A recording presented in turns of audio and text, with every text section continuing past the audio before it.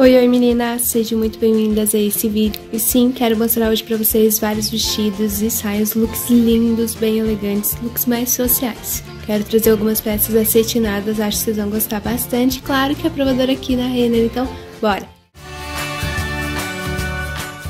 Já mostrando pra vocês esse vestido, olha que lindo, bem chique. Ele é todo nesse tecido acetinado na cor preta. E ele tem esses bordados nessa linha que é um off, um begezinho, que dá todo um charme é bordado mesmo. A manga é bem bufante, ó, tem elástico aqui na parte do punho, então deixa ela assim, ó, bem soltinha, bem bufante. Tem essa abertura aqui na frente, ela é um pouquinho grande mesmo. Aí tem esse detalhezinho aqui, ó, pra você poder dar um laço, né, e ajustar, se quiser deixar ela mais aberta ou assim, meio fechadinha. Eu iria utilizar com um topzinho por baixo ou uma regatinha, né, ou daria uns pontinhos aqui. Lembrando que esse vestido, ele não tem zíper pra vestir, então é só por aqui que dá pra vestir mesmo. A golinha dele, ó, tem essa costura, não sei se vocês conseguem ver tão bem, né, tem essa costura aqui. Ele é um tecido acetinado lindo, não é aquele brilho, sabe, tão forte assim, é um brilho bem bonito. Ele é 100% poliéster. Olhem essa saia que dá todo um charme, ó, bem soltinha assim, traz esse caimento bonito. Tem os bordados aqui na parte de baixo também, que são algumas flores e folhas. Como vocês podem ver, né? Tem nas mangas aqui, ó, em toda a lateral. E na parte de baixo também. Aqui tem esse detalhe que eu quero mostrar pra vocês. Esse vestido, ele é todo solto aqui, então ele fica mais largo, né? Fica bem largo, só que ele tem essas duas faixinhas aqui, ó. Tem nos dois lados. Aí você vai apertando pra ele ficar assim, todo franzidinho e ele vai ficar ajustado na sua cintura. Se quiser apertar mais ou deixar ele mais soltinho, assim pra mim ficou bom, ó. Daí você faz os lacinhos aqui do lado, né?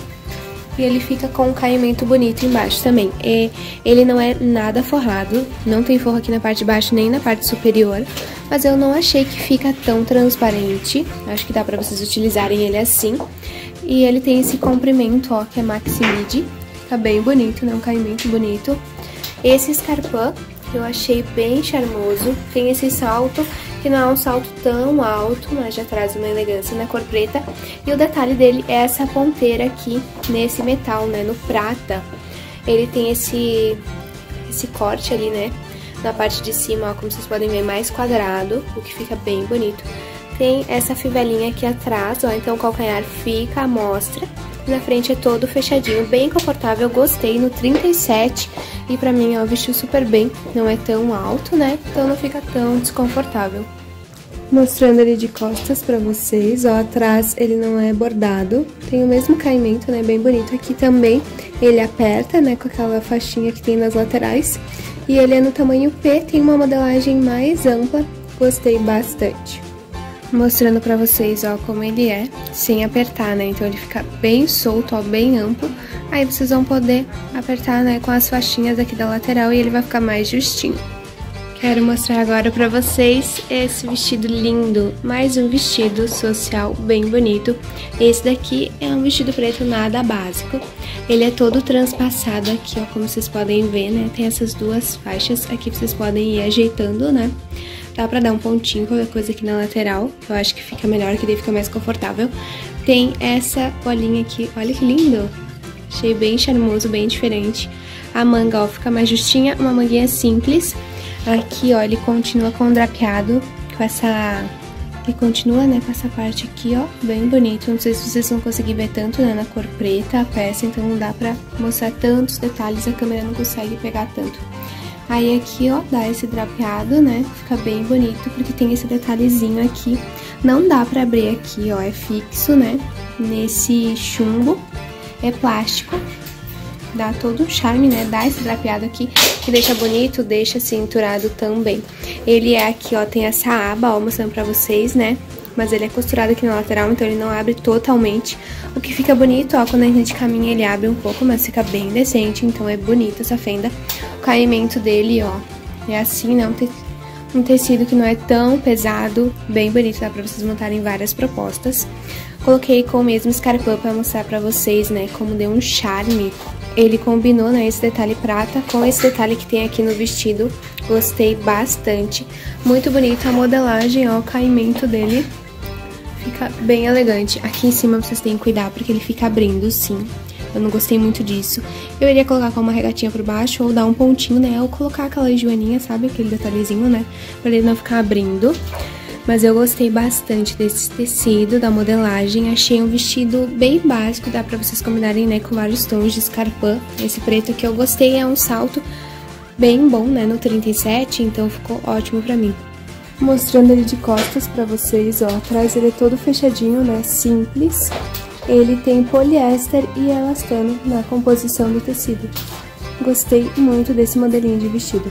Acho que vocês não estão preparados para ver esse look. Que coisa mais linda e elegante. Que lindo, que lindo. Essa saia lindíssima, acetinada, tem um caimento muito bonito, ó, embaixo ela fica mais soltinha. Eu peguei ela no tamanho M, acho que poderia ser o tamanho P, porque ela ficou bem larguinha em mim. Mas acho que o P ia ficar bem justinho no quadril, eu queria esse caimento mesmo. Então acho que eu só ajustaria na cintura. Mas ela é muito bonita. Não é forrada, mas não é nada transparente. É um cetim muito bonito, sabe? Não é aquele brilho tão forte, é um brilho muito bonito. Linda, linda. E coloquei com escarpão, é claro, porque ele tá dando todo o charme, né? Com essa ponteira aqui, tá lindo.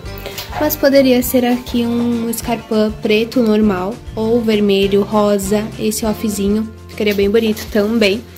E essa produção, ó, tá super aprovada. Como a saia veste bem, tem um caimento bonito, um comprimento muito bom.